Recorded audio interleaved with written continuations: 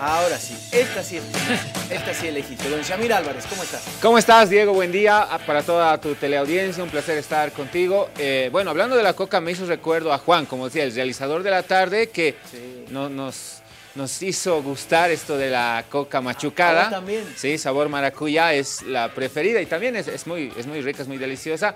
Rosendo aquí, por ejemplo, es más tradicional, no le gusta la saborizada. No. No le gusta, ah, pero sí, sí, hay bastante costumbre aquí en el canal, así que la disfrutamos. ¿ah? En las, los viernes más que todo, hoy, hoy seguramente va a aparecer con dos paquetes de, de coca machucada. Estoy seguro de eso, ¿Quién, Juan. Juanito? Juanito en la tarde, Bueno, ¿ah? me quedo entonces hasta la tarde para Sí. echarle como todos los viernes. Sí, espectacular, ¿ah? Pero bueno, nosotros estamos para hablar de fútbol y de lo que sucedió ayer. Diego, te comento que Oriente Petrolero jugó un partido amistoso con la U Católica. Perdió por tres goles a cero este partido que se jugó en Concepción en el estadio Ester Roa.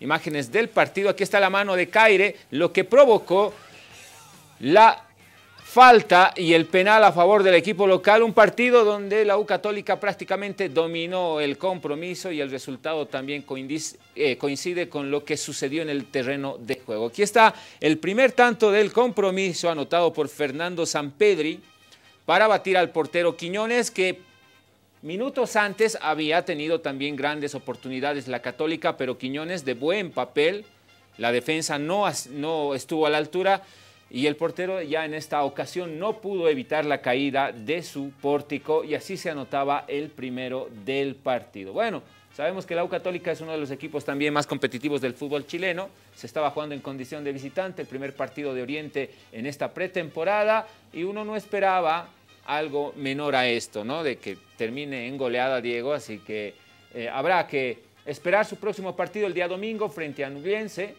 el que va a cerrar esta gira por territorio chileno. Muy bien ejecutado el penal, engañando al portero al palo derecho.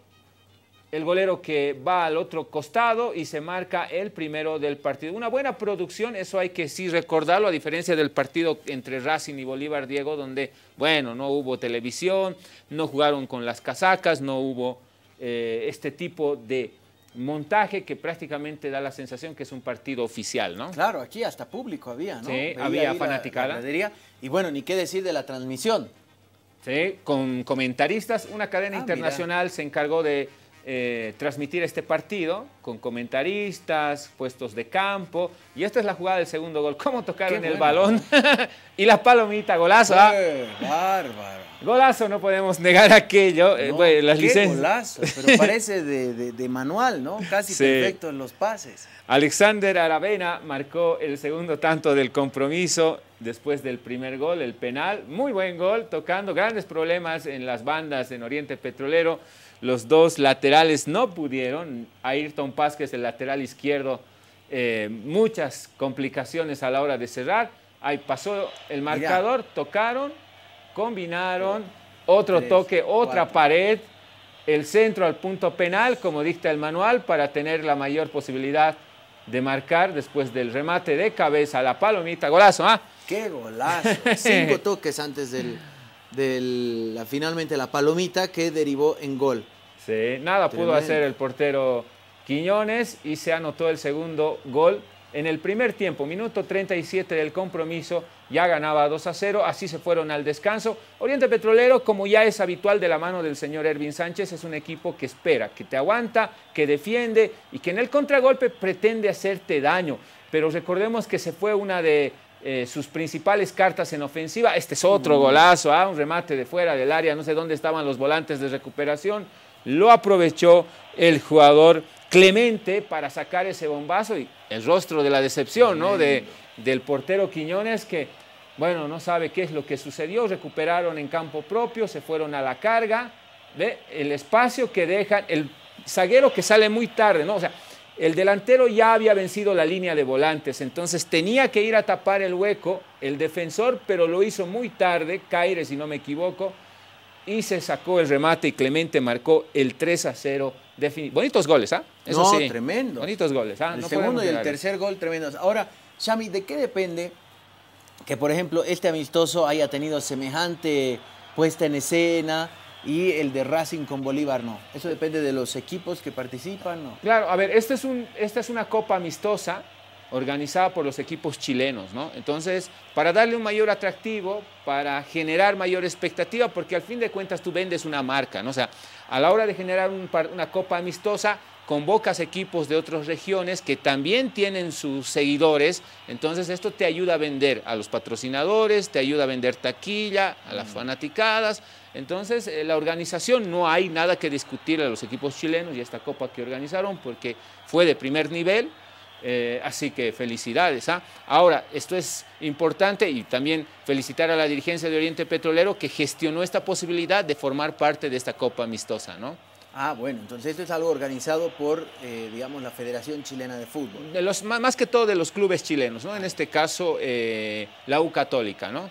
La U Católica que organizó, convocó equipos de otras latitudes, en este caso Oriente Petrolero, y bueno, ellos participando de una eh, de un partido que prácticamente simula un torneo oficial, ¿no? Porque tienes televisión, tienes fanaticada, tienes eh, al arbitraje correspondiente, entonces es un partido que te da para poder eh, tratar de explotarlo al máximo. ¿Había bar o no? No, bar, no había, eso ah, sí bar no. lo único. Eso sí no, porque... O sea, lo único, si no era todo después... Oficial, oficial, ¿no? Sí, sí, solamente faltaba eso, ¿ah? Pero ahí está la victoria, 3 a 0, así que a trabajar, ¿ah? más que todo en la defensa. El señor Ervin Platini Sánchez tendrá mucho trabajo, aparte que se le fueron dos jugadores claves, como es el argentino Facundo Suárez, el acompañante o el goleador del equipo, y se le fue el volante eh, Hugo Dorrego, un uruguayo, a quien también habrá que encontrarle el reemplazo. Y la defensa que tiene muchos problemas, los goles prácticamente te dicen de forma elocuente que la defensa es el aspecto que más también tiene que trabajar el señor Ervin Sánchez. Ahora, ¿le toca otro partido más en Chile? El domingo frente a Nubliense.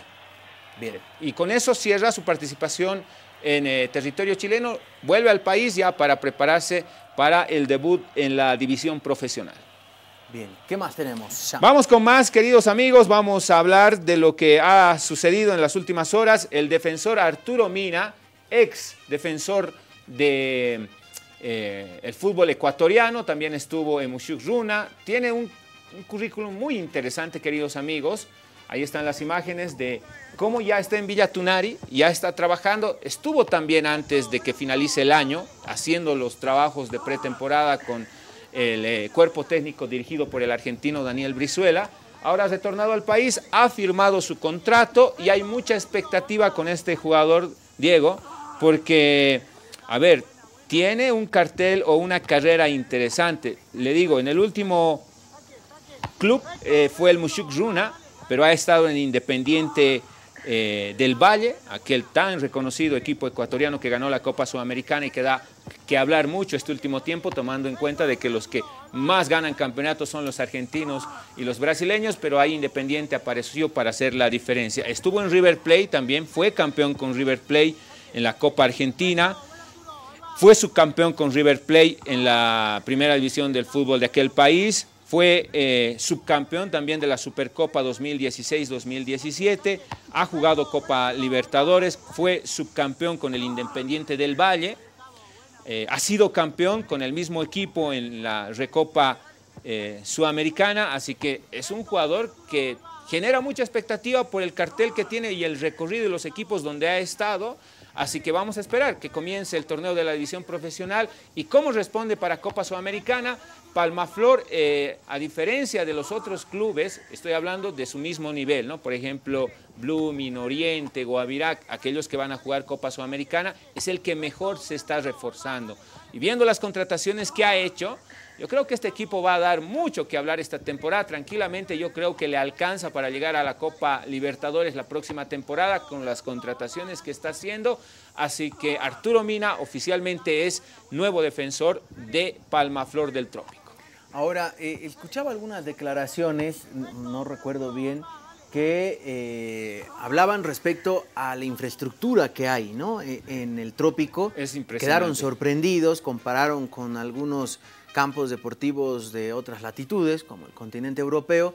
Eh, parece que están bastante a gusto los nuevos refuerzos de Palmaflor. Claro, porque en esta villa deportiva tienes un estadio de 25 mil espectadores, tienes canchas alrededor donde están entrenando, por ejemplo, o lo vemos entrenando Arturo Mina, hay canchas de tenis, hay gimnasio, hay canchas también eh, indoor, son canchas de futsal, de básquet, es una infraestructura impresionante, el hotel está al lado, a pocos metros nada más, entonces la oportunidad que tuvimos de visitar cuando se realizó la Copa Evo, Quedamos también impresionados con la infraestructura que hay y que obviamente está siendo aprovechada por Palmaflor y esto es importantísimo, ¿no? Generar o tener esas condiciones en tema de infraestructura para que los jugadores puedan eh, desarrollar y llegar al máximo de sus capacidades. Así que va a ser impresionante, ya lo están disfrutando, lo están aprovechando en todo caso el primer plantel de Palmaflor.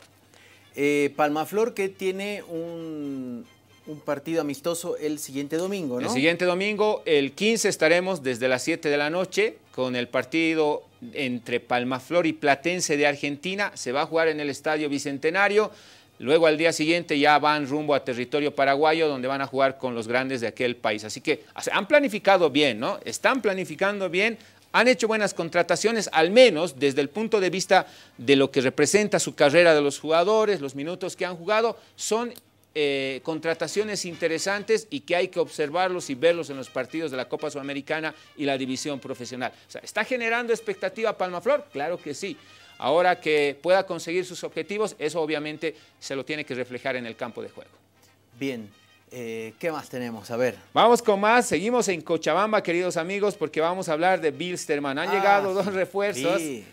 Bueno, lo de Wilstermann es muy curioso, ¿no? Porque... ¿Con qué plata?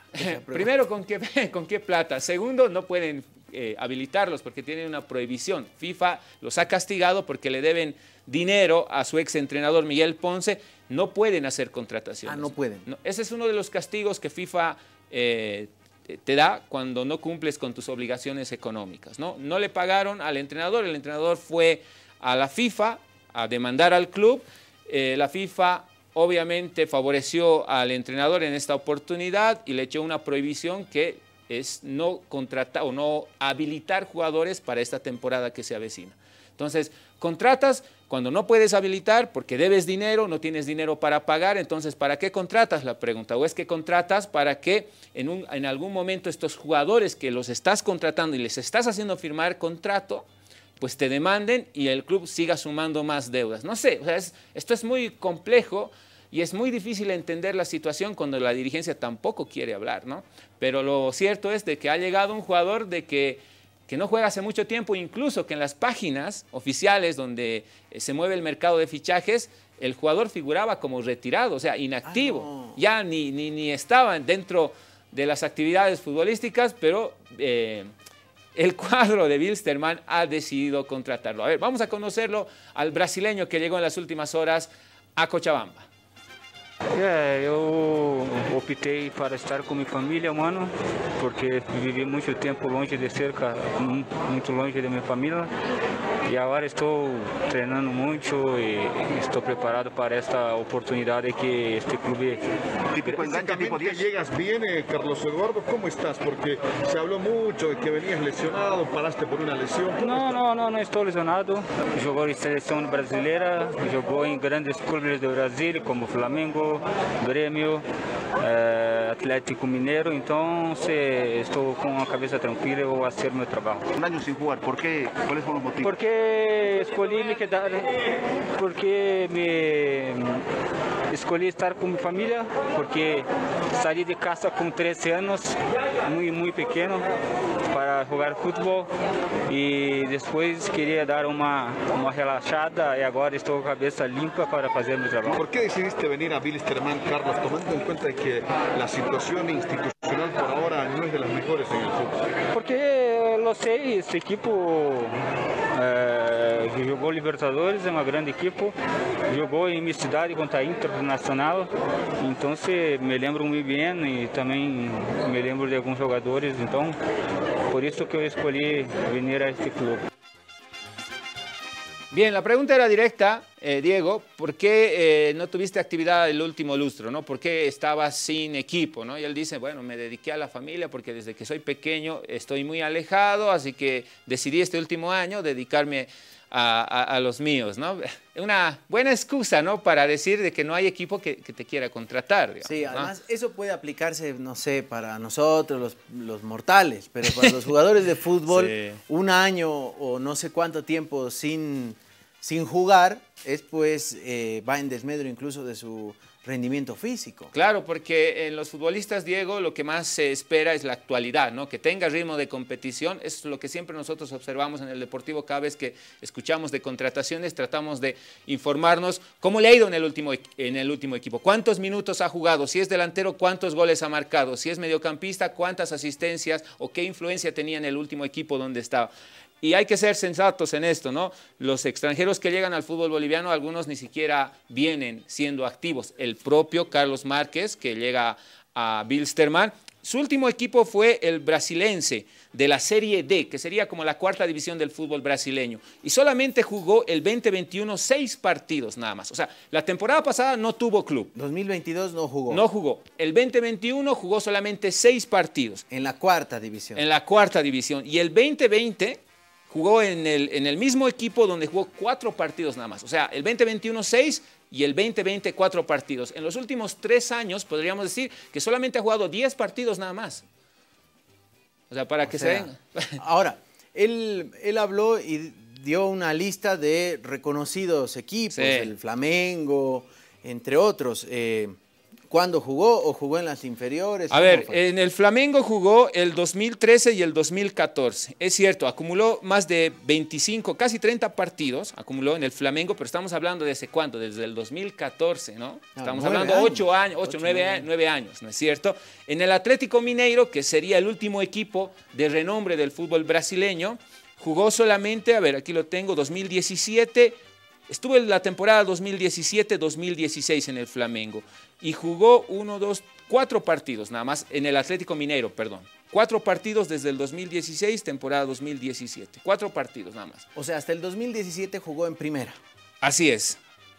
Luego estuvo en la serie, estuvo en el Campeonato Paulista, jugó la Serie B, jugó la Serie D, pero no estuvo en equipos de, renombre o equipos competitivos. Ahora, si la FIFA eh, ha impuesto una sanción al club Wilterman por las deudas que tiene, por y no puede contratar, ¿cómo contratan? O sea, eh, de contratar puede hacerlo, pero no los puede inscribir, no los puede habilitar, porque hay un sistema que se llama COMET, que es un sistema de registro internacional que maneja la FIFA y la Comebol, donde inscribes a los jugadores y los habilitas para que puedan participar en los distintos campeonatos nacionales e internacionales. O sea, lo contratan, pero no, se lo puede contratar, pero no, podría jugar. No podría jugar. Ese es el problema. O sea, estás prohibido de habilitar, puedes contratar, pero el contrato sí o sí entra en vigencia y para el jugador le sirve en un futuro, si es que no le pagan el contrato, ir a la FIFA, demandar y luego tratar de obtener eh, los beneficios económicos a través de la demanda. O sea, por eso decimos que lo que está haciendo la dirigencia es muy, pero muy irresponsable. No sé con qué fin, ¿no? Pero está siendo muy irresponsable al contratar jugadores cuando sabe que no puede habilitar. Ahora, em, ¿en qué anda lo de los puntos? Porque lo escuchaba al presidente de Bilsterman y decía, no, es que no nos han notificado, entonces estamos entrando de cero, normal. bueno, ellos viven en una negación completa, ¿no? Con la idea de vender un discurso y que los hinchas puedan eh, comprar el mismo cuando ya el propio directivo de la federación, el director ejecutivo de la federación, el que maneja estos temas de quita de puntos, que maneja temas eh, que tienen que ver con lo legal en, en, los clubes de la división profesional, en el último consejo él ya confirmó de que es oficial la quita de puntos. El presidente del Tribunal Superior de Apelaciones, que es un órgano eh, eh, jurisdiccional de la federación, también lo ha confirmado. Se le ha restado seis puntos a Bilsterman. Lo que pasa es que hay una dirigencia, y la que está, la dirigencia de Bilsterman, pues no se cansan de vender humo y decir que la situación no es así cuando ya personas oficiales o en este caso el director ejecutivo y el presidente del tribunal ya lo han confirmado como tal. Es decir, Bilsterman cuando comience el campeonato en la tabla de posiciones va a figurar con menos seis y puede ser más si no paga. ¿eh? Ahora, entonces, ¿en qué mundo paralelo vive la dirigencia? Esa es una gran pregunta que Si la FIFA no te permite habilitar jugadores, no puedes contratar, pero no, no, que no jueguen. O sea, es como que contrate a Viayala un presentador, pero no puede presentar. Eh, y de ahí, si, no puede, si va a entrar menos seis, pero ellos dicen que no, eh, ¿En qué mundo viven o qué, plantean o qué, dicen? lo que nosotros pensamos y tratamos de entender, porque claro, los dirigentes no quieren hablar, o sea, no quieren decir realmente cuáles son sus planes, o sea, qué hay detrás de todo este circo que está viviendo Bilsterman. Pienso que, o al menos tenemos la sensación de que ellos están esperando de que la Federación Boliviana de Fútbol desembolse la primera cuota de televisión de este año, que será el mes de febrero, porque las 10 eh, cuotas, las 5 cuotas ya se han desembolsado el año pasado. Y este año hizo también la, federa, eh, la la televisión desembolso. Esta cuota son alrededor de 600 mil dólares que te entrega la federación como miembro de la división profesional por tu participación en el torneo del fútbol boliviano, ¿no? que por los derechos de televisión, que son 600 mil dólares. Entonces, nosotros creemos que están esperando que llegue la primera cuota de esta temporada, que va a ser en, en febrero, y meterle la mano a ese dinerito y a ver qué es lo que pasa, tal vez tratar de recuperar lo poco, lo poco que han invertido y después mandarse a mudar, ¿no? O sea, pensamos que eso es lo que está eh, intentando hacer la dirigencia, ¿no? Mientras tanto, están vendiendo humo con este tipo de contrataciones. Eh, hoy ha comenzado su primer día de, eh, de pretemporada con muy pocos jugadores, incluidos estos extranjeros pero los inconvenientes están ahí. Hay quita de puntos, no pueden habilitar, así que está muy, pero muy mal Bilsterman, Diego. ¿ah? Una última, Yapita, eh, ¿en qué quedó la recaudación de fondos? ¿Cuánto llegaron a, juntar? Ah, el, tema de la recaudación de fondos ha sido todo un problema, ¿ah? porque llegaron a un monto interesante, superaron los 10 mil dólares, pagaron a un jugador, a un jugador, eh, a un arquero, Rodrigo Venegas, le pagaron porque se le debía cierta cantidad de montos. La dirigencia se enojó con, eh, con, este grupo de hinchas que actuaron de manera, obviamente, con el corazón. Y bueno, esto ha quedado ahí. No sabe, uno de los líderes, Villalón, que era el que había ofrecido su nombre para que se abra la cuenta donde la gente iba a depositar el dinero, pues ha decidido dar un paso al costado, ¿no? Porque las cosas no han marchado bien. ¿ah? Ha sido un buen impulso hasta cierto punto, pero el dinero que se debe y se necesita obviamente no alcanza con la recaudación de, los fanáticos, ¿no? Y que, claro, eh, con la intención de ayudar han aportado su granito de arena. Así que es todo un problema lo que está atravesando Wilstermann Diego. Así que seguramente nos va a dar mucho que hablar en estos días. Seguro. Ya que no hay fútbol, por lo menos a entretenerse con lo que pasa con el Club Wilstermann. Yo me despido con esto. La selección boliviana sub-20 va a participar del torneo sudamericano el próximo 19 de eh, este mes, el próximo 19 hasta, el, hasta la primera semana de febrero. El 22 comienza el campeonato en Colombia, pero antes, el 12 de este mes, va a jugar un partido amistoso con Perú en Lima. Mm un partido preparativo y después se va a territorio colombiano a encarar este sudamericano. menos un jugador porque no lo prestó su club, ¿no? Sí, no va el, eh, jugador Miguel Terceros, el, el, que más ha dado que hablar en este último tiempo por sus condiciones, está en el Santos. El Santos no está obligado, por si acaso, Diego, a ceder al jugador en este tipo de torneos eh, de divisiones menores. Sí lo tiene que hacer cuando hay eh, partidos de fecha FIFA y partidos oficiales de selección mayor, el club sí está obligado a ceder durante un lapso de 10 días. En esta oportunidad no puede hacerlo si quiere, el club ya ha decidido no, que se quede porque el Santos va a afrontar una cantidad impresionante de partidos a inicio de temporada, así que han dicho no, no lo, no lo cedemos y afronte su campeonato con lo que tiene. No va. Bueno, a ver que, cómo nos va. Gracias, don Shami. Buen fin de semana. Eh, no sé si nos reencontramos el lunes, igual a las 12 en minutos nada más arrancan con el amateur. Sí. Eh, Nosiglia dio que hablar. Buenas noticias. Sigue escalando puestos en esta segunda etapa. También ha vuelto a subir algunos escalones, así que vamos a estar con todos los detalles en Aviala Amateur. Y por supuesto, a las 13.30 el Deportivo. El, número, uno de los deportivos. Bien, gracias. Buen fin de semana, Shamil. Igualmente, Diego, ha sido un placer.